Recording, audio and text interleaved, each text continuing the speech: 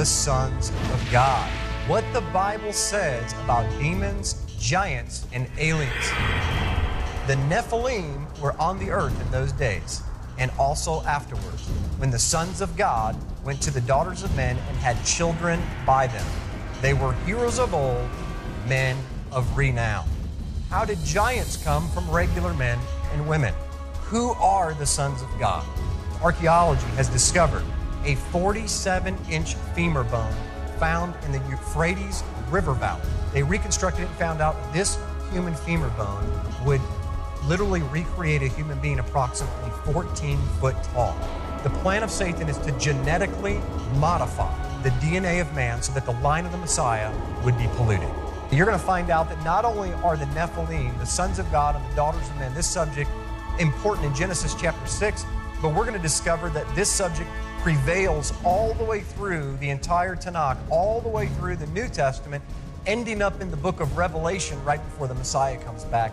This topic, believe it or not, weaves its way in and out of our scriptures in a very hidden, mystical way.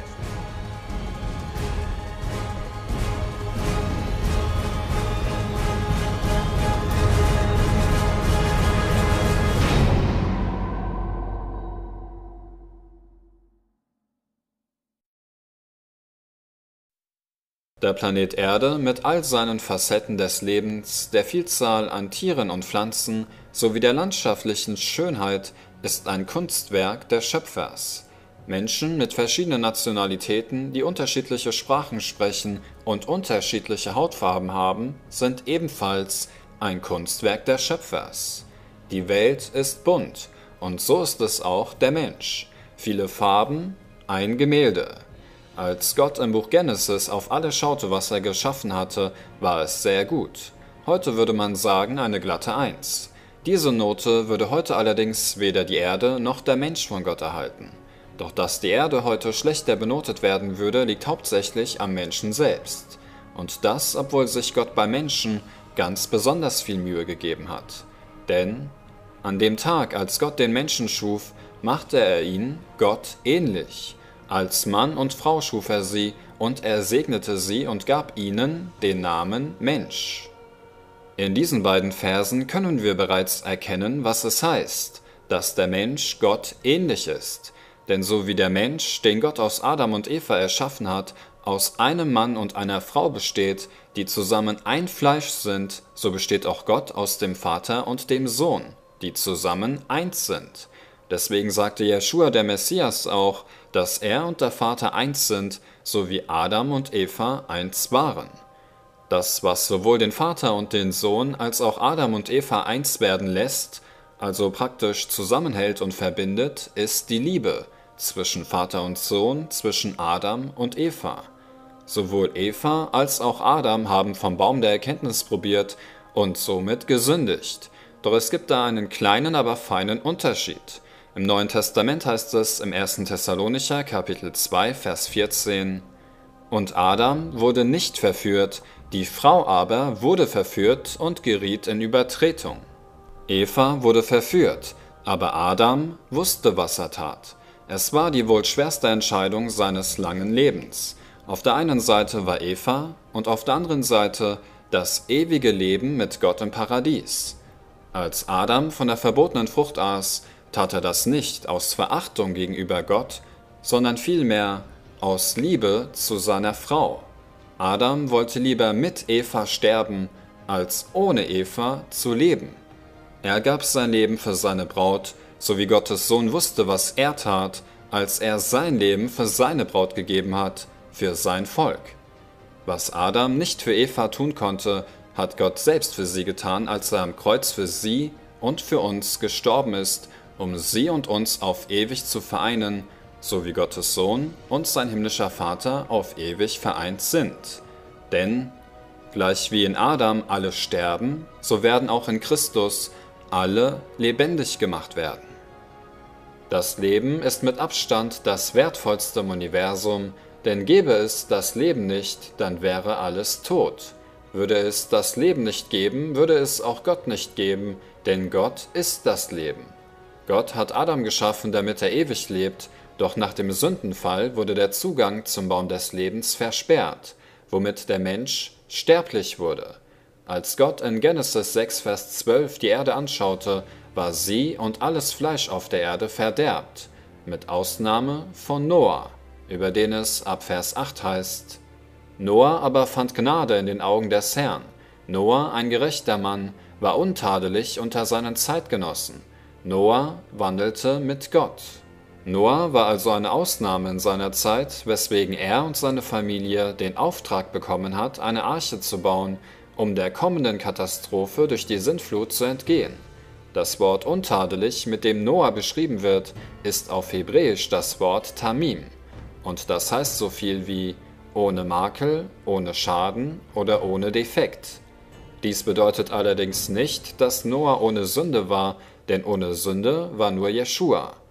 Dass Noah ohne Defekt war, bezieht sich auf seine Blutlinie, aus der später der Messias hervorkommen sollte. Denn die Blutlinien der anderen Menschen hatten in der Tat einen Schaden davongetragen, nämlich als die Frauen der Menschen sich mit den Gottessöhnen eingelassen haben. 1. Buch Mose, Kapitel 6, Abvers 2 Da sahen die Gottessöhne, dass die Töchter der Menschen schön waren, und sie nahmen sich von allen jene zu Frauen, die ihnen gefielen. In jenen Tagen waren die Riesen auf der Erde und auch später noch, solange die Gottessöhne zu den Töchtern der Menschen kamen und diese ihnen Kinder gebaren. Das sind die Helden, die von jeher berühmte Männer gewesen sind. Was wir herausfinden müssen ist, wer diese Gottessöhne sind, wer diese Riesen sind und was es mit den Helden auf sich hat, die von jeher berühmte Männer gewesen sind. Adam und die Engel werden ebenfalls als Söhne Gottes bezeichnet, weil sie von Gott geschaffen wurden. Wir Menschen sind Söhne Adams, weil wir nicht direkt geschaffen, sondern von etwas Geschaffenem geboren wurden, nämlich von einem Menschen. Und weil Satan bzw. Luzifer nicht geboren, sondern erschaffen wurde, zählt auch er laut Bibel zu den Söhnen Gottes. In Hiob 1, Vers 6 heißt es, Es geschah aber eines Tages, dass die Söhne Gottes vor den Herrn traten, und unter ihnen kam auch der Satan. Die Riesen, die im ersten Buch Mose erwähnt werden, heißen auf Hebräisch Nephilim. Doch was bedeutet dieses Wort? The Nephilim means giants. Okay? The root word, now this is interesting, is Nephal. Nephal means in Hebrew to fall, to lie, be cast down, to fail, or reject. Okay? The children of these fallen angels were cast down, failed rejects. Okay? Uh, these were mutants. If, for all intents and purposes, that's exactly what the Hebrew word is saying. These are mutants. These are uh, fallen mutants, children of, uh, of the enemy, children of the fallen angels. Die Gottessöhne, also die gefallenen Engel, haben ihren Wohnsitz im Himmel verlassen, haben Frauen geheiratet und zeugten mit ihnen Kinder, nämlich die Nephilim. Doch können Engel überhaupt heiraten? Wenn der Mensch wieder unsterblich wird, wird er sein wie die Engel, die im Himmel sind. Der Messias sagte in Markus 12, Vers 25, über die Auferstehung der Toten in Christus. Denn wenn sie aus den Toten auferstehen, so heiraten sie nicht, noch werden sie verheiratet, sondern sie sind wie die Engel, die im Himmel sind. Engel können also im Himmel nicht heiraten, aber die gefallenen Engel, die den Himmel ja verließen, die schon, und das haben sie auch getan. Dass einige Engel den Himmel verlassen haben, davon berichtet auch Judas in Vers 6, wo er schreibt, und dass er die Engel, die ihren Herrschaftsbereich nicht bewahrten, sondern ihre eigene Behausung verließen, für das Gericht des großen Tages mit ewigen Fesseln unter der Finsternis verwahrt hat. Engel haben also einen gewissen Herrschaftsbereich, den sie nicht verlassen dürfen und woran sich die gefallenen Engel nicht gehalten haben. Über diese Ereignisse berichtet auch der Prophet Henoch. Sein Buch wurde zwar nicht in den Kanon der Bibel aufgenommen, doch ist immer noch ein Bestandteil der äthiopischen Bibel und enthält einige Informationen, die uns Aufschluss über die Taten der Nephilim geben. Judas zum Beispiel zitiert sogar aus dem Buch Henoch, und wenn er das tut, warum sollten wir das nicht tun? Jude actually quotes in the book of Jude the book of Enoch. 114 says, And Enoch also, the seventh from Adam, prophesied of these, saying, Behold, the Lord cometh with ten thousands of his saints. Now, I only mention that to mention the fact that uh, there is a book of Enoch. And apparently it had some value to some of the New Testament writers because uh, they're quoting from it. Und dieses Zitat von Judas finden wir in der Tat auch im Buch Henoch wieder, weswegen wir uns einmal genauer anschauen wollen, was uns Henoch sonst noch zu sagen hat. Wie zum Beispiel, was die gefallenen Engel, die von Henoch auch als Wächter bezeichnet werden, die Menschen so gelehrt haben. Nämlich, sie lehrten sie Zaubermittel, Beschwörungsformeln, Schlachtmesser, Waffen, Schilde und Brustpanzer verfertigen, die Metalle samt ihrer Verarbeitung, das Sternenschauen und die Astrologie.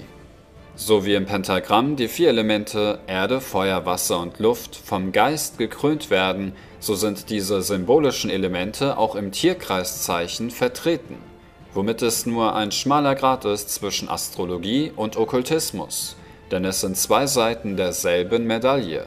Das Schmieden von Waffen, Zauberei, die Beschwörungen von Dämonen, Astrologie und vieles mehr wurde dem Menschen von den gefallenen Engeln beigebracht. Der Mensch wurde im Kämpfen ausgebildet, im Okkultismus unterrichtet und brachte also Gewalt, Unzucht und Götzendienst in die Welt der Tage Noahs. So wie Luzifer eine Rebellion im Himmel anzettelte, so versuchte er es mit seinen Engeln auch auf Erden. Über diese Zeit schreibt Henoch weiter, Sie wurden aber schwanger, also die Frauen der Menschen, und gebaren 3000 Ellen lange Riesen, die den Erwerb der Menschen verzerrten.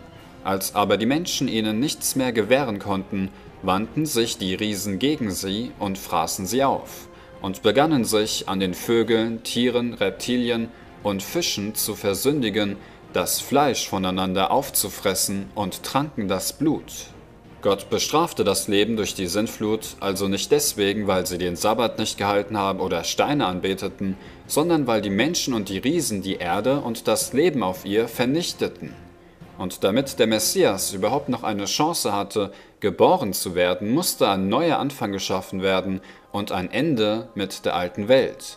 Im aktuellen Film Noah mit Russell Crowe sind die Riesen die Guten, was allerdings nicht in Einklang mit der Bibel zu bringen ist.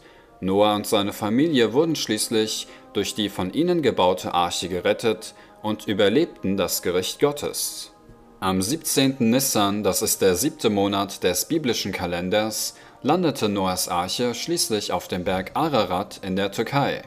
Noah machte die Tür auf und betrat sozusagen die neue Welt. Laut Kapitel 9, Vers 20 wurde Noah ein Landmann und legte auf dem Berg Ararat einen Weinberg an.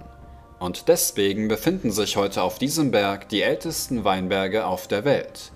Der Messias wurde am 14. Nissan gekreuzigt und ist drei Tage später wieder auferstanden, also ebenfalls am 17. Nissan, wodurch die neue Welt einen neuen Weg gezeigt bekam, eine neue Tür, die durch den Messias geöffnet wurde.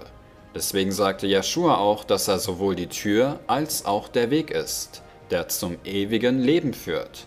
Er ist sozusagen die Arche der neuen Welt. Viele Menschen glauben heute nicht mehr an eine weltweite Flut, doch viele Schriften außerhalb der Bibel, Überlieferungen anderer Kulturen und antike Mythologien berichten ebenfalls von dieser Naturkatastrophe. Zum Beispiel die Ägypter. In der Enzyklopädie of World Mythology and Legend heißt es auf Seite 613, einer aus Ägypten erzählt von einer alten Schöpfung Gottes, die Urflut, welche die gesamte Erde überzogen und die ganze Menschheit zerstörte, mit Ausnahme derer, die in Thems Boot waren. Tem könnte also nur ein anderer Name für den biblischen Noah sein. In der aztekischen Mythologie hieß derjenige, der die Sintflut überlebt hat, Kokox. Im Buch Folklore in the Old Testament wird auf Seite 107 berichtet, als die Menschheit von der Flut überwältigt wurde, überlebte niemand, außer ein Mann namens Kokox und eine Frau, und nachdem sie auf einem Berg landeten, hatten sie sehr viele Kinder. Und in der Tat bevölkerten nach der Sintflut die Nachkommen von Noahs Söhnen die Erde. Auch im asiatischen Bereich gibt es eine ähnliche Geschichte, die uns sogar die Gründe für die Sintflut beschreibt, nämlich im chinesischen Buch Buch des Wissens für alle. So wird im Buch The Lost Ship of Noah auf Seite 126 folgendes berichtet. Die Sammlung erzählt von den Auswirkungen der menschlichen Rebellion gegen die Götter. Die Erde wurde in seinen Grundfesten erschüttert, die Gewässer überschwemmten die Erde. Laut diesem jahrtausendealten Buch war also der Grund für die Überschwemmung der Erde die Rebellion der Menschen gegen die Götter, beziehungsweise gegen Gott, den Schöpfer. In der sumerischen Mythologie lesen wir von einem En-Merka, der um das Jahr 2750 v. Chr. Herrscher von Uruk war, die er nach der großen Sintflut wieder aufgebaut haben soll. Außerdem soll er auch der Großvater des Königs Gilgamesch sein. Im Gilgamesch-Epos wird die Sintflutsgeschichte folgendermaßen dargestellt: Die Geschichte erzählt, dass er, Herr der Gewässer und des Menschenbeschützer, Utnapishtim vor der Sintflut warnte. Er bat Utnapishtim, sein Haus abzureißen und ein Boot zu bauen und den Samen aller Lebewesen in das Boot zu bringen. Utnapishtim könnte in diesem Gilgamesch-Epos also wiederum nur ein anderer Name für Noah sein und er ist die akkadische Übersetzung des Namens Enki und heißt übersetzt Wasserhaus, was ebenfalls eine Anspielung auf das Haus bzw. das Boot sein könnte, welches auf dem Wasser die Sintflut überwunden hat. Schauen wir mal, was die Gilgamesch-Tafel selbst über Gilgamesch zu sagen hat. Er, Gilgamesch, war es, der durch seine schier eigene Kraft die weit entfernten Heiligtümer wieder aufbaute, welche die Flut zerstörte.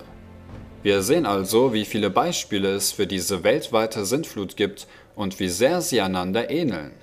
Wir verlassen jetzt allerdings die alte Welt vor der Sintflut und betreten nun die Welt nach der Sintflut. Die Riesen, die auf Erden waren, sollten nämlich auch nach der Sintflut auf der Erde zu finden sein. Der Grund dafür sind sowohl die gefallenen Engel, die sich erneut mit den Menschenfrauen einließen, als auch eine andere Theorie, nämlich eine anscheinend defekte Blutlinie, die mit auf der Arche war. Noah hatte keinen Defekt, wie wir gesehen haben, seine Frau und seine Söhne wohl auch nicht. Also schauen wir mal, wer alles die Arche auf dem Berg Ararat verlassen hat. Da redete Gott zu Noah und sprach: Geh aus der Arche, du und deine Frau und deine Söhne und die Frauen deiner Söhne mit dir. Die Söhne Noahs aber, welche die Arche verließen, waren Shem, Ham und Japhet. Von diesen drei Söhnen Noahs wurde die ganze Erde bevölkert. Eine Frau der Söhne Noahs könnte also eine defekte Blutlinie gehabt haben, wovon die gefallenen Engel auch nach der Flut Gebrauch gemacht haben und die neuen Nephilim zeugten. Diese waren unter verschiedenen Namen und Stämmen bekannt und werden in der Bibel ebenfalls erwähnt. Schauen wir uns mal deren Namen und deren hebräische Bedeutung an. They were called the Raphaim, which is from the root Rapha, which means spirits, shades. Okay, Genesis 14:5. They were also called the Anakim, which is called the race of giants, and the descendants of the Nephilim, the Emim, the Emim, the proud deserters, the terrors, or the race of giants. Okay? You also have the Zuzim, which are called the evil ones in Genesis 14:5, the Zamzumims, the evil plotters in Deuteronomy 2:20, and the Zophim, or the watchers, the descended angels. Okay? The, the, and so what we're finding out is that there are multiple names for the giants. And, uh, and since I've done this teaching, I've even discovered, uh, which I'm going to talk about in just a few minutes, that even some of the tribes in the land of Canaan were actually full blooded Nephilim by different names. Wenn wir uns also die Namen dieser Riesen betrachten, dann deuten diese in der Tat auf nichts Gutes hin. Schauen wir also mal, aus welcher Blutlinie die Riesen der Neuzeit entsprungen sind. Hier sehen wir ein Bild von Namer, einem Ägypter, der um 3000 v. Chr. regierte und der der erste Herrscher der ersten Dynastie Ägyptens war. Dass dieser Ägypter größer war als die anderen, zumindest auf diesen Bildern, könnte darauf hindeuten, dass er ein Riese war, denn die Bibel berichtet von einem Riesen aus Ägypten. 1. Chroniken Kapitel 11 Vers 23 Er erschlug auch einen ägyptischen Mann, der war fünf Ellen lang und hatte einen Speer in der Hand, wie ein Weberbaum. Der wohl bekannteste Riese der Bibel war noch größer als dieser Riese aus Ägypten, nämlich Goliath der Philister. Trotz seiner Größe wurde Goliath trotzdem von David besiegt, weil Gott mit David und seinem Volk war.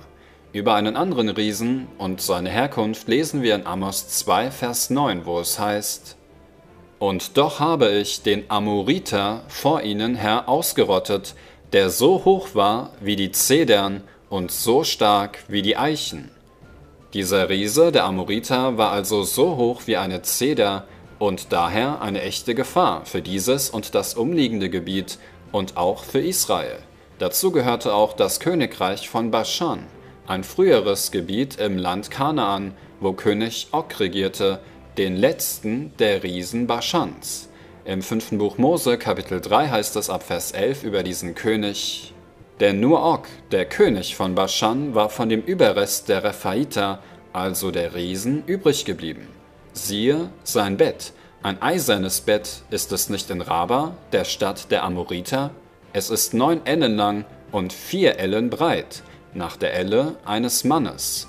Die ganze Gegend Akrob, das ganze Baschan wurde das Land der Rephahiter genannt also das Land der Riesen. Baschan heißt nämlich übersetzt Land der Riesen und der Name Og bedeutet riesig. Und riesig war in der Tat auch das Bett dieses Königs. Schauen wir uns noch ein letztes Beispiel über diese Riesen an, bevor wir letztendlich zur Auflösung kommen, aus welcher Blutlinie diese Riesen entsprungen sind. Über das Land Kanaan insgesamt wo sich auch die meisten Riesen aufgehalten haben, heißt es im vierten Buch Mose, Kapitel 13, Vers 32, ein Land, das seine Einwohner frisst, und alles Volk, das wir darin sahen, sind Leute von hohem Wuchs.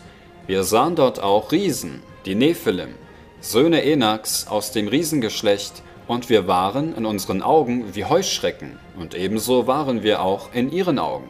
There's no wonder when the 10 spies went over and they saw these giants, they felt like grasshoppers and they said, There's no way. There is no way that we can beat these guys. Uh, they will just walk all over the top of us. There's even reports of them being 30 foot tall. That's an incredible human being. If there are 30 foot giants in the land and you're five and a half, six foot tall, you are a grasshopper in their sights for sure. Watch this. Archaeology has discovered a 47 inch femur bone found in the Euphrates River Valley. And to give you an idea how big that is, this gentleman is standing and he could walk right under the legs of this giant. The real bones have been found like this, and uh, that pr- that proposes a problem for evolution. Number one, because they say uh, that we're getting better and we're getting bigger and smarter and so on and so forth. Uh, this is, seems to be showing the opposite that we're getting shorter, if, if anything, going from 15, 30 foot to 14 foot to 6 foot tall average male. Alle Riesen nach der Sintflut, welche wir gesehen haben, also die Ägypter, die Philister, Amoriter, Enakiter oder Kanaaniter, stammen von ein und derselben Blutlinie ab, nämlich die von Ham, beziehungsweise seiner Frau, mit der er Kinder zeugte. Das war unter anderem Mizraim, der als Stammvater der Ägypter gilt, von dem auch die Philister kommen, ebenso wie die Amoriter. Außerdem ist Ham auch der Vater Kanaans und der Großvater von Nimrod, dem ersten Gewaltherrscher der Erde, dem Architekten des Turmbaus zu Babel. Dass Hams Blutlinie unter keinem guten Stern stehen würde, können wir noch an einem anderen Beispiel festmachen. Als Noah Weinberge pflanzte und sich auf gut Deutsch gesagt einmal betrunken hat, sah Ham die Blöße von Noah und petzte es seinen Brüdern, die sich schämten. Deswegen sprach Noah zu Ham: Verflucht sei Kanaan. Und weiter sprach er: Gepriesen sei der Herr, der Gott Shems. Wir sehen also, wie Kanaan, der Sohn von Ham, verflucht und der Gott Shems gepriesen wurde, da Shems Blutlinie zu den Juden und damit zum Messias führen sollte.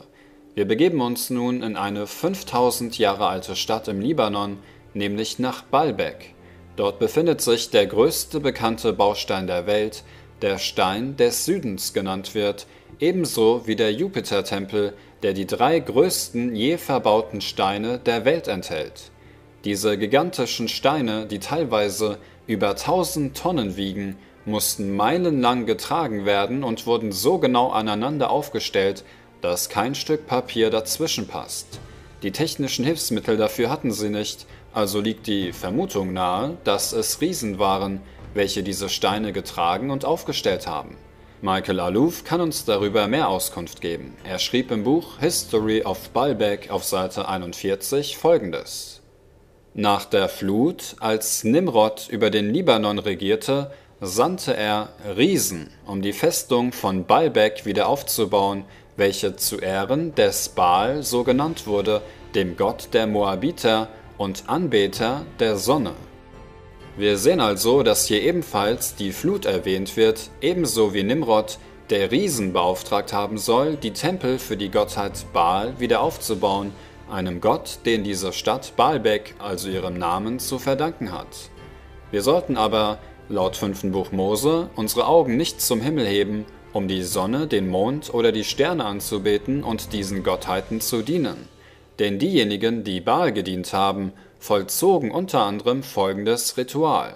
Jeremia 19, Vers 5 Sie haben auch die Höhen des Baal gebaut, um ihre Kinder dem Baal als Brandopfer mit Feuer zu verbrennen, was ich nicht geboten und wovon ich nichts gesagt und was mir nie in den Sinn gekommen wäre. Gott würde es also niemals in den Sinn kommen, von Menschen zu verlangen, dass sie ihre Kinder für ihn opfern. Doch diese Kinder und wahrscheinlich auch die Eltern haben es gerne getan, weil ihr Gott und deren Anbeter ihnen natürlich viel dafür versprochen haben. Die Menschen starben für Gott Baal, doch Gott Yahweh starb für die Menschen. Schauen wir uns eine weitere Stadt an, wo Riesen im wahrsten Sinne des Wortes ihre Finger im Spiel gehabt haben sollen. Teotihuacan in Mexiko. Sie ist eine der bedeutendsten prähistorischen Ruinenstädte von Amerika und über diese Stadt, die zum Weltkulturerbe der UNESCO gehört, heißt es, die Bewohner der Stadt hinterließen der Nachwelt monumentale Bauten aus der Blütezeit der Teotihuacans vom 6. Jahrhundert nach Christus. An der Sage nach wurden die monströsen Tempel und Pyramidenanlagen von Riesen erbaut und den Göttern gewidmet.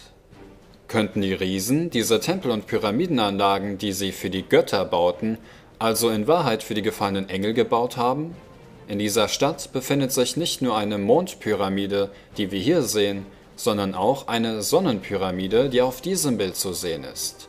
Und die lange Straße, die zur Mondpyramide führt, heißt die Straße der Toten.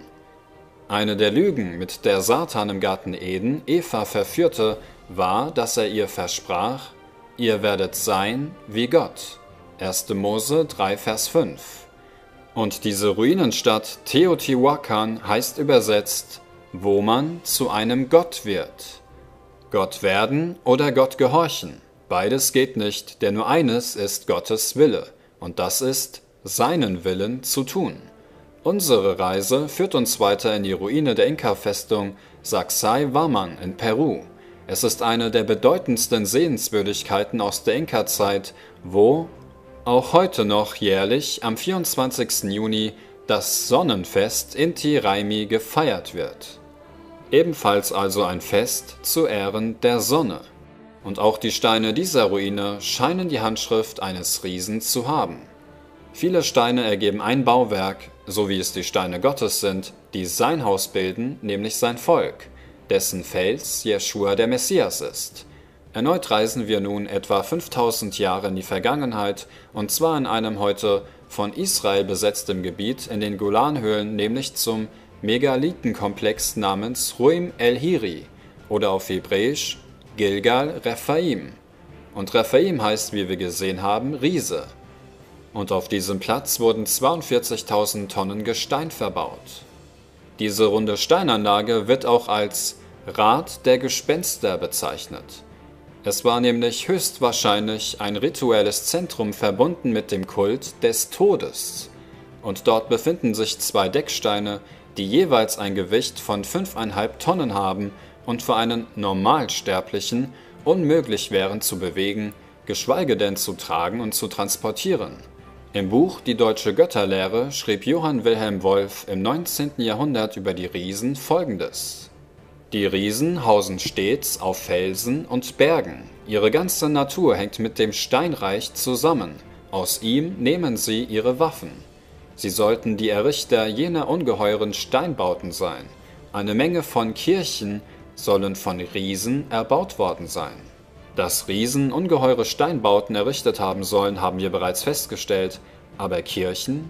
Über die Kirche St. Egidius in Hof, die etwa im 12. Jahrhundert gebaut wurde, heißt es, nach einer Sage wurde die Kirche durch Riesen erbaut, denn die Kirchenmauern bestehen aus riesigen Felsblöcken.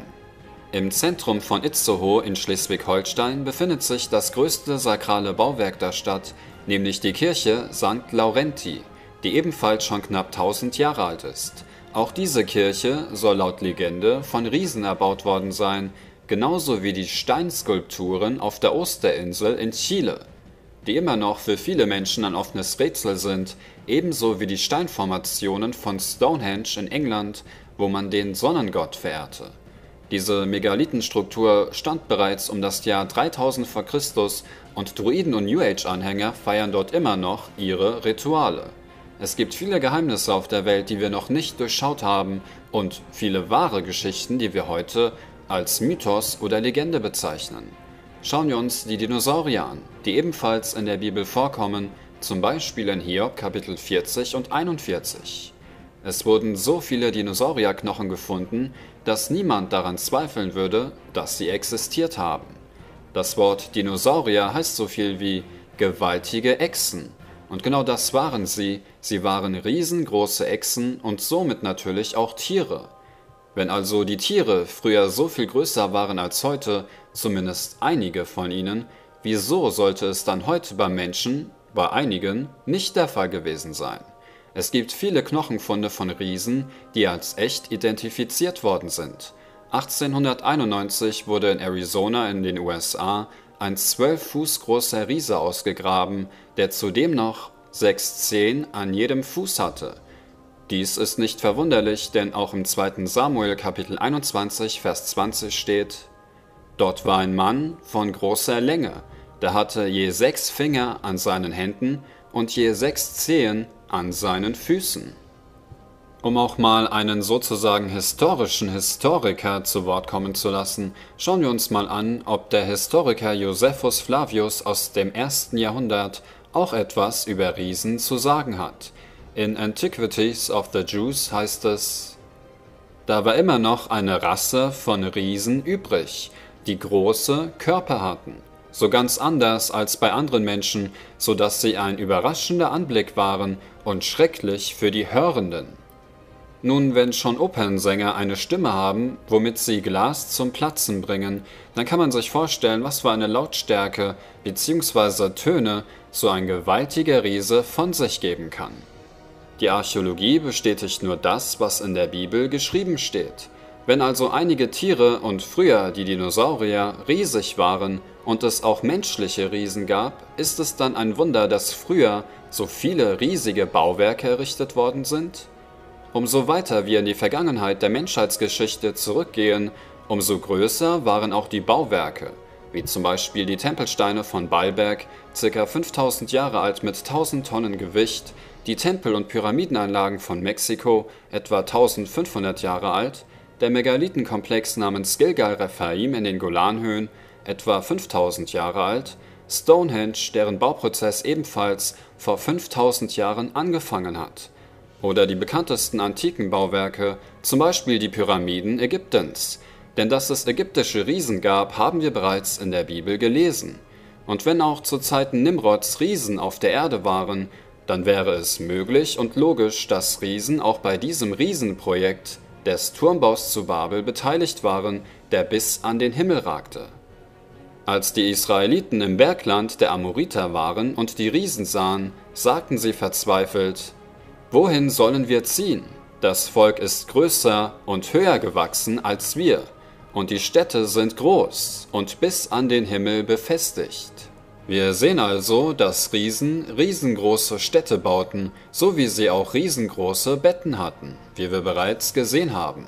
Und so wie die Israeliten sozusagen vor einem riesigen Problem standen, beziehungsweise einer riesigen Herausforderung, so stehen auch wir oft im Leben vor einem großen Problem oder Hindernissen, die wir mit Gottes Hilfe besser bewältigen können als ohne seinen Beistand. Denn die Antwort auf die Furcht vor den Riesen folgt in den nächsten Versen, wo es ab Vers 29 heißt: Entsetzt euch nicht und fürchtet euch nicht vor ihnen, denn der Herr, euer Gott, zieht vor euch her und wird für euch kämpfen. Ganz so, wie er es für euch in Ägypten getan hat, wo du gesehen hast, wie der Herr, dein Gott, dich getragen hat, wie ein Mann seinen Sohn trägt. Der Mann trägt seinen Sohn, so wie der himmlische Vater seinen Sohn trägt, der wiederum unsere Sünden getragen hat.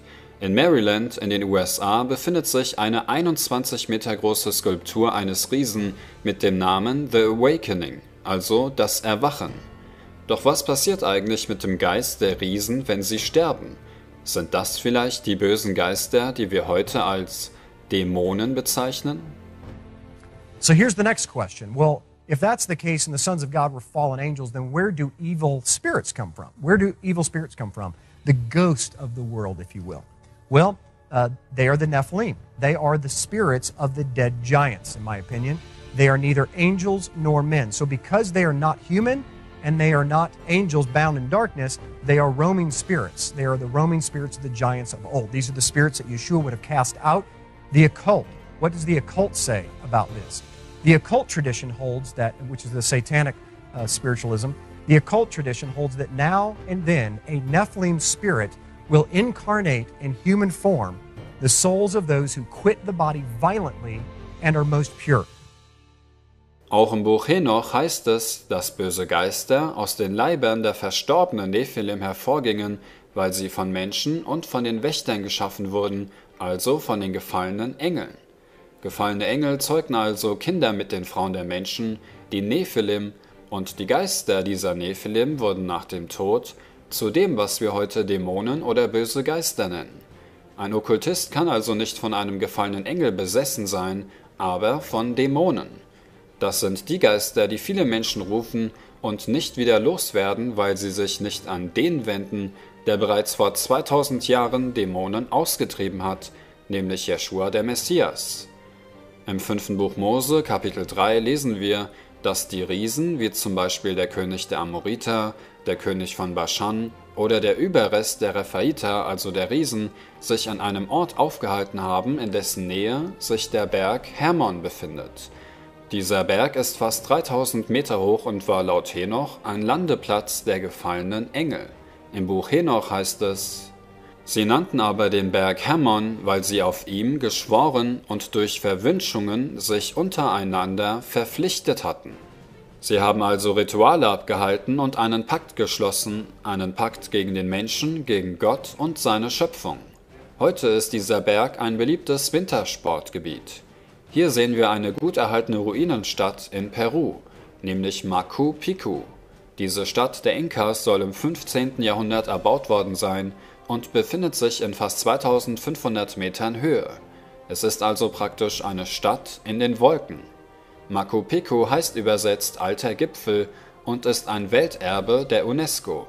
In dieser Stadt wurde ebenfalls ein Sonnengott angebetet, den die Inkas Inti nannten und dessen Symbol wir auch auf der Flagge von Argentinien wiederfinden. In dieser Stadt befindet sich sowohl ein Mondtempel als auch ein Sonnentempel. Und wenn wir an die gefallenen Engel denken, die Gottessöhne, die vom Himmel kamen und auf dem Berg Hermon einen Pakt schlossen, dann kommen wir an einem Berg nicht vorbei, und das ist der Olymp. Dieser Berg ist in der griechischen Mythologie bekannt als der Berg der Götter. Im Türkischen wird das Gebirge Semawatefi genannt, was so viel wie Heim der Himmel bedeutet. Laut griechischer Mythologie zeugten diese Götter mit den Frauen der Menschen Kinder, die sogenannten Halbgötter. Denn ein Halbgott ist in der Regel ein Geschöpf, das von einem Gott und einem nichtgöttlichen Wesen abstammt, und Halbgötter sind mit anderen Worten also nichts anderes als die Nephilim aus der Bibel. Wikipedia schreibt, in der Genesis Kapitel 6 findet sich auch das Motiv der Söhne Gottes, die Beziehungen mit Menschenfrauen eingegangen sind. Die dabei gezeugten Kinder werden Nephilim genannt. Es lassen sich auch Entsprechungen im griechischen Götterhimmel mit seinen Titanen und Halbgöttern finden, besonders in den menschlichen Kindern des Zeus. die dieser, den Göttersagen zufolge, nach Lust und Laune mit sterblichen Frauen gezeugt haben soll. I'm going to suggest to you that the Greeks are 100% right. It was the gods that came down, uh, that they considered gods, came down, mated with women and the beast. They were trying to destroy all the DNA. And out came giants that were human, and out came the half goat and the half man and the half horse and the half man and all of these mixed breeds in between. I believe personally that they were very real. Eine der bekanntesten Halbmensch, Halbtiergestalten der griechischen Mythologie ist wahrscheinlich der Minotaurus. Es wurde eine 2500 Jahre alte Münze gefunden, auf dem dieses Wesen wiederzufinden ist und entweder der Fantasie entsprang oder aber der Realität. Sollte es der Realität entsprechen, ist es nicht verwunderlich, dass Gott in seinem Gesetz unter anderem Folgendes angeordnet hat.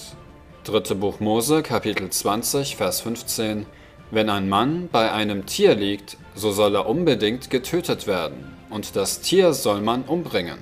Wenn eine Frau sich irgendeinem Tier naht, um sich mit ihm einzulassen, so sollst du die Frau töten und das Tier auch.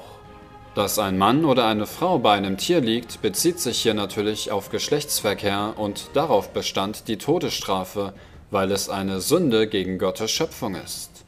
Doch so wie die Nephilim das Gesetz Gottes egal war, so haben anscheinend auch die Halbgötter wenig Wert darauf gelegt. Eine der beliebtesten Marken für Sportkleidung ist wahrscheinlich Nike welche viele Fußballmannschaften ausstattet. Und auf diesem Bild sehen wir den Tempel von Nike, denn Nike ist ebenfalls ein Gott der griechischen Mythologie, der auch als geflügelter Gott des Sieges bezeichnet wird. Der wohl bekannteste Halbgott der griechischen Mythologie ist Herkules, der Sohn des Zeus. Diese Halbgötter des antiken Griechenlands werden in der griechischen Mythologie auch als Helden bezeichnet, welche von den Göttern abstammen. Deswegen nehmen Herkules oder auch Thor immer wieder die Heldenrolle ein, weil sie die berühmten Helden der Antike sind. Und wie wurden die Nephilim nochmal genannt? Das sind die Helden, die von jeher berühmte Männer gewesen sind. Die alten Sumerer, Ägypter, die Inkas, die Mayas, Perser, Griechen, Inder, Bolivier, die amerikanischen Indianer und natürlich die Bibel berichten alle von Wesen, die vom Himmel auf die Erde kamen. Die einen nannten sie Götter, andere nennen sie gefallene Engel und andere nennen sie heute Außerirdische. Es sind verschiedene Namen für etwas, das vom Himmel auf die Erde gekommen ist und wahrscheinlich wiederkommen wird. Henoch sagte über die Berichte der gefallenen Engel, die er in seinem Buch verfasst hat, folgendes: Nicht für das gegenwärtige Geschlecht dachte ich nach, sondern für das künftige. Das Buch selbst sagt uns, dass die Informationen für eine zukünftige Generation von Bedeutung ist, nämlich die Generation, die sich in der Endzeit befindet. Und der Messias warnte uns in Matthäus 24, Vers 37 ebenfalls, wo er prophezeite, wie es aber in den Tagen Noahs war, so wird es auch bei der Wiederkunft des Menschensohnes sein. Noah lebte nach der Sintflut noch 350 Jahre lang und hat daher Nimrod und wahrscheinlich auch den Turmbau zu Babel miterlebt. Denn Nimrod lebte etwa 180 Jahre nach der Flut der Tage Noahs.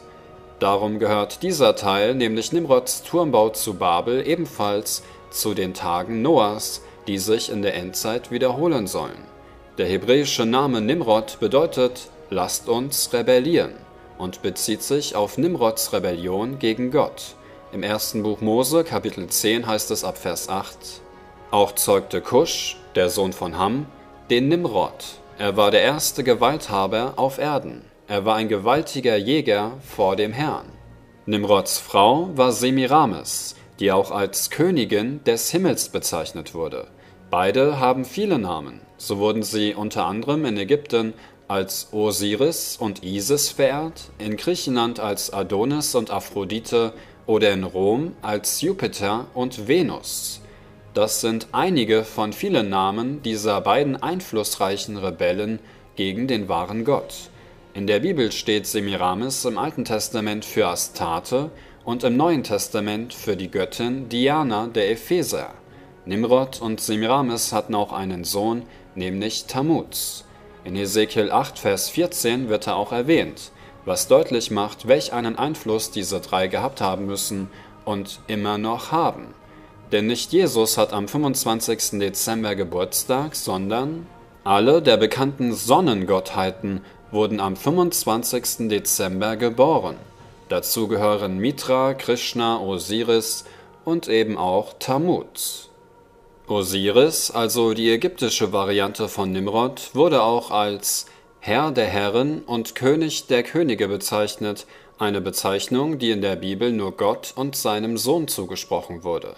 Osiris wird außerdem auch mit dem allsehenden Auge in Verbindung gebracht, dem Symbol, auf dem ein Dollarschein, dem Symbol der Freimaurer und natürlich auch dem Symbol der Illuminaten, welche sich ja als Götter betrachten, ebenso wie die Pharaonen Ägyptens oder auch Könige und Cäsaren. David Avison schrieb im Buch Der Dollar auf Seite 61 Osiris war der allsehende Gott, und sein Auge erscheint in einer Vielzahl von ägyptischen Kunstwerken. Das allsehende Auge, auch genannt das Auge Gottes. In Gott we trust. Die Frage ist, in welchen Gott? Dieses allsehende Auge finden wir nicht nur in ägyptischen Bauwerken oder auf dem 1-Dollarschein wieder, sondern zum Beispiel auch in Kirchen, einem Ort, wo das allsehende Auge dieser Okkultisten eigentlich nichts zu suchen hat. Wir finden dieses Symbol auf Münzen, auf Geldscheinen, auf der Deklaration für Menschenrechte oder in Freimaurerlogen. Nimrod hat also viele Namen und ein anderer Name für Nimrod, so glauben viele, dass Nimrod auch Gilgamesch sein könnte, da die beiden in der Tat sehr viel gemeinsam haben. In der dritten Gilgamesch-Tafel spricht Gilgamesch zu Enkidu, dem halb Mensch, halb Tierwesen, folgendes. Wenn ich falle, werde ich mir selbst einen Namen machen. Gefallen ist Gilgamesch, werden sie sagen, im Kampf mit dem schrecklichen Huwawa. Doch wenn ich gewinne, werden sie sagen, Gilgamesch, der mächtige Sieger über Huwawa. Gilgamesch sagte also, dass er sich selbst einen Namen machen will und wenn er im Kampf gegen Huwawa, was sich auf Yahweh beziehen könnte, verlieren sollte, würde man sagen, Gefallen ist Gilgamesch. Nun schauen wir mal, was das erste und das letzte Buch der Bibel über Nimrod bzw. Babylon zu sagen hat. Wohlan, lasst uns eine Stadt bauen, dass wir uns einen Namen machen. Gefallen, gefallen ist Babylon. Nimrod scheint in der Tat mehr Namen zu haben und in mehr Symbolen aufzutauchen, als es uns manchmal bewusst ist. Im Assyrischen Reich sehen wir viele Bauwerke, auf denen entweder Flügel abgebildet sind oder auch Menschen, die Flügel haben und Wesen, die halb Tier, halb Mensch sind. Dasselbe Phänomen haben wir auch in Ägypten, wo die Flügel ebenfalls ein weit verbreitetes Symbol waren. Isis zum Beispiel wird in Ägypten sehr oft mit Flügeln gezeigt, ebenso werden diese Flügel auch oft mit einer Sonnenscheibe und zwei Schlangen dargestellt. Wenn wir heute Menschen mit Flügeln auf einem Bild sehen würden, würden wir sie wahrscheinlich als Engel bezeichnen. Und so war es auch in der antiken Welt, nur dass diese Wesen mit Flügeln nicht die Engel Gottes darstellen, die unter anderem auch den Messias getröstet haben, sondern die gefallenen Engel, also die Wächter. Es gibt heute viele Menschen, die zu diesen Kreisen gehören, die sich als Götter bezeichnen, nicht weil sie Gott sind, sondern weil sie zu den Göttern Kontakt haben und oder von Göttern und Dämonen besessen sind. Denn unser Kampf richtet sich nicht gegen Fleisch und Blut, sondern gegen die Weltbeherrscher der Finsternis dieser Weltzeit, gegen die geistlichen Mächte der Bosheit in den himmlischen Regionen. Der Kirchenvater Titus Flavius Clemens, der auch als Clemens von Alexandria bekannt ist, war vor fast 2000 Jahren ein bekannter griechischer Theologe und Kirchenschriftsteller, der darüber Folgendes schrieb. Gefallene Engel lehrten die Menschen den Gebrauch von magischen Beschwörungen, um Dämonen zu zwingen, dem Menschen zu gehorchen. Dies wurde den Ägyptern, Persern und Babyloniern eingefleischt. so wie sich Herrscher, Cäsaren, Könige und Pharaonen in Babylon, in Ägypten, in Griechenland oder in Rom im wahrsten Sinne des Wortes vergöttern ließen, so ist es auch oft in der aktuelleren Geschichte der Fall gewesen.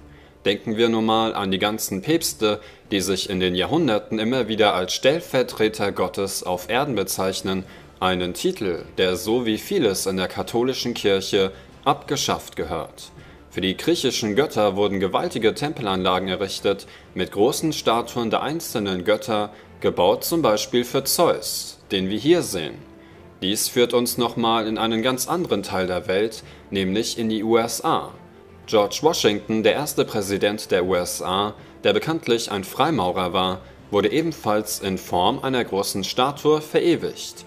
Dessen Haltung erinnert stark an die Haltung dieses Wesens, nämlich die des Baphomets oder in Ägypten auch genannt Bajedet, der Widder von Mendes. Will ich damit also sagen, dass George Washington vergöttert wurde? Nein, denn das sage nicht ich, das sagt die amerikanische Kultur und Tradition selbst. An der Decke der Kuppel des Kapitols in Washington befindet sich ein Bild mit dem Namen The Apotheosis of Washington, zu Deutsch die Gottwerdung Washingtons, zeigt den ersten US-Präsidenten George Washington bei seiner allegorischen Gottwerdung. Washington ist dabei umrundet von Figuren der griechischen und römischen Mythologie. Außerdem befinden sich um dieses runde Bild auch noch 72 Pentagramme. Das assyrische, ägyptische, griechische oder römische Reich sind untergegangen, doch deren Götter scheinen nur umgezogen zu sein. In diesem Gemälde sehen wir außerdem noch einen Spruch, der auf vielen Symbolen der USA wiederzufinden ist, nämlich der lateinische Satz Er pluribus unum, was übersetzt heißt aus vielen eine. Das kann sich auf der einen Seite auf die vielen damaligen Staaten beziehen, die zusammen die USA bilden sollten, aber es kann sich natürlich noch auf den Plan beziehen, der sich auch auf der 1-Dollar-Note befindet, nämlich Novus Ordo Seclorum, eine neue Weltordnung. Es ist das gleiche, was auch schon Nimrods Plan war, nämlich alle Menschen unter einem Führer, also eine Art Weltregierung. Das Rebellische an diesem Turm zu Babel war nicht etwa die Höhe, denn sonst müsste New York City ja schon zehnmal von Gott zerstört worden sein, sondern es ist vielmehr das, was man durch diesen Turm tun wollte. Das Wort Babel heißt so viel wie Tor der Götter oder Tor zu den Göttern. Ein Tor ist etwas, das man entweder öffnen oder schließen kann. Und viele glauben, dass das Projekt des Turmbaus zu Babel ein Tor öffnen sollte, welches den Wächtern, also den Göttern, ermöglichen sollte, Zugang zu unserer Welt zu erlangen. Eine Art Stargate könnte man sagen. Und wonach sehnen sich heute viele Menschen, beziehungsweise was erwarten heute viele Menschen weltweit? Eine Ankunft von außerirdischen Besuchern. Der französische Astronom und Informatiker Dr. Jacques Fabrice Vallée ist vor allem durch seine Werke im Bereich der Ufologie bekannt geworden. Auch er hält die UFO-Erscheinungen keineswegs für ein neues Phänomen. Er schreibt, die UFO-Wesen von heute gehören derselben Klasse von Manifestationen an wie die okkulten Wesenheiten, die Jahrhunderte in der Vergangenheit beschrieben wurden. The Bible says at the end of time, before the Messiah comes back, these things that happened in the days of Noah are going to happen again. Now, what does that mean? Am I saying that there are going to be giants on the earth again and the sons of God are going to come out? What are the aliens? I don't know. Maybe the aliens that uh, uh, that are out there that are contacting us in some way, shape, or form, maybe those are the sons of God. Maybe those are the fallen angels that have been restricted by God. Their wings, if you will, have been destroyed. They cannot travel, they're in darkness. So, being as smart as they are, maybe they made spaceships, and so that's how they're traveling back and forth. I don't know. And I don't mean to go off and, and kind of sound crazy, but the reality is, is we know for a fact that they exist. We have, we have pictographed writings on in almost every culture and every time period of flying saucers. Die Frage ist also, ob es positive oder negative Erscheinungen sind, die so viele Menschen heute am Himmel gesehen haben wollen und über die so viele antike Kulturen und Religionen berichten. Kurt E. Koch ist Professor der Theologie, verfasste etwa 100 Bücher, die etwa in 30 Sprachen übersetzt wurden. Er bekam mehrere internationale Anerkennungen, wie zum Beispiel in Cambridge in England, nämlich die Aufnahme in die Akademie der Weltliteratur auf Lebenszeit. Er schrieb im Buch Okkultes ABC auf Seite 613 Es liegt erschreckendes Material vor, das zeigt, dass die Erscheinungen von UFO-Materialisationen böse Geister sind. Eines ist sicher, UFOs sind keine positiven Zeichen am Himmel, sondern negative Erscheinungen. Nun, nach allem, was wir bis jetzt gehört und gesehen haben, scheinen diese antiken UFOs keine guten Absichten zu haben auch wenn heute viele Sekten, Prediger, Filme und Lieder das Gegenteil behaupten. Seien es Sekten aus dem Okkultismus, New Ager oder religiöse Prediger, welche die UFOs schon jetzt als unsere Brüder aufgenommen haben. Die gefallenen Engel, so lesen wir, nahmen sich die Frauen, die ihnen gefielen, einfach und fragten nicht großartig nach oder schrieben zuvor einen Liebesbrief. Es gibt Millionen Menschen auf der Welt, die berichten, von Außerirdischen entführt worden zu sein. Natürlich gibt es darunter auch viele Fakes, doch was erstaunlich ist, dass die Menschen unabhängig voneinander dieselben Erfahrungen während der Entführung gemacht haben. Wir zählen jetzt acht Punkte auf, die bei den meisten Entführten identisch sind, nämlich das Opfer sieht eine ungewöhnliche Himmelserscheinung, zum Beispiel ein strahlend helles Licht. Danach erscheinen fremdartige Gestalten, welche die Willenskraft und das Empfindungsvermögen des Menschen rauben. Danach wird das Opfer auf ein Raumschiff gebracht, dort auf einen Tisch oder auf ein Bett gelegt, es werden Experimente mit ihm gemacht und Blutproben entnommen. Außerdem werden dem Opfer Eizellen oder Sperma entnommen und es kommt auch teilweise zum Geschlechtsverkehr bzw., so wie viele berichten, auch zu Vergewaltigungen. Das Opfer fühlt sich hilflos und wehrlos und von außen gesteuert. Am Ende werden Erinnerungen gelöscht, damit das Opfer nicht darüber sprechen kann, was anscheinend nicht immer funktioniert hat, und letztendlich wird das Opfer zum Entführungsort zurückgebracht. Wenn die Endzeit so wird, wie es in den Tagen Noahs war, dann müssten diese gefallenen Engel also zurückkommen. Vielleicht unter einem anderen Namen, unter einem anderen Vorwand, doch ihr Ziel bleibt das gleiche. Eine Rebellion gegen Gott und seine Schöpfung. In Daniel 2, Vers 43 heißt es über die Endzeit, dass du aber Eisen mit Tonerde vermengt gesehen hast, bedeutet, dass sie sich zwar mit Menschensamen vermischen, aber doch nicht aneinander haften werden. Könnten es also die gefallenen Engel sein, die sich erneut mit dem Menschen vermischen? Könnten diese Wesen also wirklich zurückkommen oder sind sie vielleicht schon unter uns? I can think of no other theory that seems to make sense to me on how men fall away so quickly in the end days as if maybe the sons of God come back again and these uh, and maybe they've already done that and maybe these giants or these Nephilim come back and begin to lead men astray. I don't know. But it's important that we understand the scriptures on this topic and I'll leave you with this. From the very beginning it was said, do not mix the seed.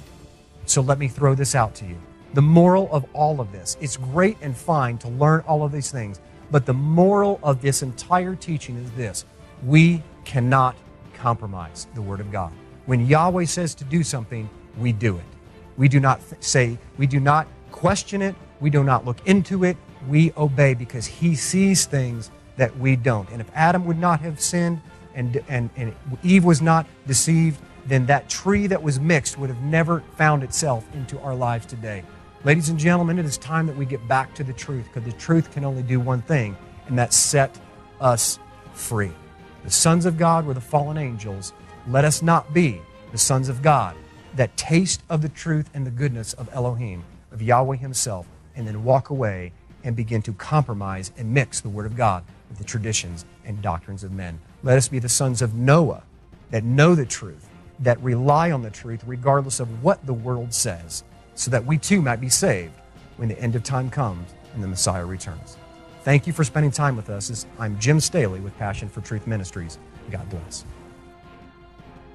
Die Gläubigen, die in Christus gestorben sind, werden laut Lukas 20, Vers 36 bei der Wiederauferstehung der Toten ebenfalls Söhne Gottes genannt, weil sie nicht mehr sterben können und wie die Engel sind, die sich auf Gottes Seite befinden. Es gibt mehr auf der Welt, als wir mit unseren Augen sehen oder mit unserem Verstand ermessen können. Im Theaterstück Hamlet von William Shakespeare heißt es, es gibt mehr Dinge zwischen Himmel und Erde, als eure Schulweisheit sich erträumt. Wir haben am Anfang von Adam berichtet, der lieber mit Eva sterben wollte, als ohne Eva leben zu müssen, so wie der Messias lieber für sein Volk sterben wollte, als ohne sein Volk zu leben. Durch den Sündenfall Adams wurde der Weg zum Baum des Lebens versperrt, also der Weg zum ewigen Leben. Am Ende der Bibel lesen wir allerdings, dass der Mensch wieder Zugang zum Baum des Lebens haben wird und somit wieder Zugang zur Unsterblichkeit hat. Dann werden nicht nur Adam und Eva auf ewig vereint sein, sondern auch Gott und sein Volk, das in der Bibel auch als seine Braut bezeichnet wird, die sich bereit für den Hochzeitstag machen soll, bereit für den Tag, der Rückkehr des Bräutigams Jeschua, den Messias. Deswegen wollen wir das Video ungefähr so beenden, wie wir es begonnen haben, nämlich mit einer versteckten Liebesgeschichte. Die meisten kennen sicherlich den Boxfilm Rocky mit Sylvester Stallone. In diesem Film geht es nicht wirklich ums Boxen, das ist nur eine Allegorie. Auf der einen Seite haben wir Rocky, also The Rock, den Felsen, eine Bezeichnung des Messias, und Rocky wird oft im Film Rock genannt, es ist sozusagen sein Spitzname, und auf der anderen Seite haben wir seinen Gegner, nämlich Apollo Creed. Apollo ist nicht nur einer von vielen Namen für Nimrod in der römischen Mythologie, sondern wird auch in der Bibel mit Apollyon gleichgesetzt, einem Engel des Abgrundes. In Offenbarung 9, Vers 11 heißt es, und sie haben als König über sich den Engel des Abgrundes, sein Name ist auf Hebräisch Abaddon und im Griechischen hat er den Namen Apollyon. Okkultisten betrachten Apollyon ebenfalls als mächtigen Dämon oder sogar als Satan selbst. Apollos Nachname Creed heißt übersetzt so viel wie Glaube oder Überzeugung. Wir haben auf der einen Seite also ein Abbild auf den Messias und seinen Glauben und auf der anderen Seite ein Abbild auf Satan und seine Überzeugungen, und Satan wird in der Bibel auch als Gott dieser Welt bezeichnet. Und genauso ist Apollo Creed der ungeschlagene Weltmeister im Boxen, der alle seine Gegner K.O. geschlagen hat. Sylvester Stallone ist in der Tat ein gläubiger Christ und bekennt sich auch in der Öffentlichkeit zu Christus. Deswegen schauen wir uns die Handlung von Rocky 1 also etwas genauer an, auf die auch Sylvester Stallone Einfluss hatte. Das allererste, was man im Film Rocky 1 sieht, ist ein Foto von Jesus Christus. Die Kamera zoomt nun nach hinten und als nächstes sieht man Rocky boxen, während sich im Hintergrund des Ringes ein Schild mit dem Wort Resurrection befindet, also Auferstehung. Zu dieser Zeit war Rocky ja niemand, doch dann bekommt er die Chance seines Lebens. Einen Kampf mit dem ungeschlagenen K.O.-König und Boxweltmeister Apollo Creed. Eines Tages besucht Rocky die Boxhalle, wo der Kampf stattfinden soll, um sich schon mal mit dieser vertraut zu machen. Als er das tut, sieht er ein Bild von Apollo, auf dem Apollo so riesig ist, dass Rocky auch zu grübeln beginnt. So wie sich der Messias vor der Kreuzigung im Garten von Gethsemane Beistand holte von seinem himmlischen Vater und fragte, ob der Kelch an ihm vorbeigehen kann, so holt sich Rocky seinen Beistand bei Adrian, seiner Freundin, um seine Zweifel und vielleicht auch seine Furcht loszuwerden. So wie der Messias im Garten von Gethsemane neue Kraft und Motivation bekam, so war es auch bei Rocky der Fall. Nach dem Gespräch mit Adrian sagte er, dass es ihm bei diesem Kampf nicht darauf ankommt, Apollo zu schlagen, sondern er möchte einfach nur 15 Runden mit dem Weltmeister im Ring stehen, ohne selbst KO zu gehen. Der Niemand stand bis dahin dem Weltmeister im Ring und ist über die volle Distanz gegangen. Rocky steigt in den Ring und der Kampf beginnt. Rocky steckt die härtesten Schläge seines Lebens ein, geht auch zu Boden, so wie der Messias Schläge und Tritte einstecken musste und zu Boden ging, doch beide standen wieder auf. Rocky war mit Blut überströmt, konnte sich kaum auf den Beinen halten, doch er hat das Unmögliche geschafft und ging als erster Boxer gegen den Weltmeister über die volle Distanz. 15 Runden lang gab Apollo alles, was er hatte, doch nach 15 Runden stand Rocky immer noch. Damit schockierte er die Welt und alle flippten aus. Der Ansager fragte Rocky nach dem Kampf total außer sich: Hey Rocky, unglaublich, wie fühlst du dich? und so weiter. Doch das Einzige, was Rocky interessierte, war seine Freundin Adrian, denn er kämpfte für sie. seine zukünftige Braut. In dem Moment betritt Adrian die Halle, stürmt auf Rocky zu und der Film endet, indem beide zueinander sagen, dass sie sich lieben. Und was passierte in Rocky 2? Zuerst heiraten Rocky und Adrian und danach schickt Rocky den Weltmeister Apollo in einem Rückkampf auf die Bretter, holt sich seinen Titel und ist neuer Weltmeister, so wie der Messias, wenn er zurückkommt, den Satan auf die Bretter schickt und ebenfalls den Thron besteigt, den Thron seines Königreiches. Nach dem Sieg in Rocky 2 bedankte sich Rocky als allererstes bei Gott, was heute leider immer weniger Menschen tun. Im ersten Teil hat Rocky Schläge eingesteckt, doch im zweiten Teil hat Rocky Schläge verteilt. Genauso wie der Messias. Wir kämpfen gegen geistige Mächte, sagt das Neue Testament, deswegen ist es wichtig, dass wir diesen geistigen Kampf annehmen und gewinnen. Denn der Apostel Paulus sagte, ich habe den guten Kampf gekämpft, den Lauf vollendet, den Glauben bewahrt. Denn ich bin gewiss, dass weder Tod noch Leben, weder Engel noch Fürstentümer, noch Gewalten, noch Gegenwärtiges, noch Zukünftiges, weder Hohes noch Tiefes, noch irgendein anderes Geschöpf uns zu scheiden vermag von der Liebe Gottes, die in Christus Jesus ist, unserem Herrn. Amen und Gottes Segen.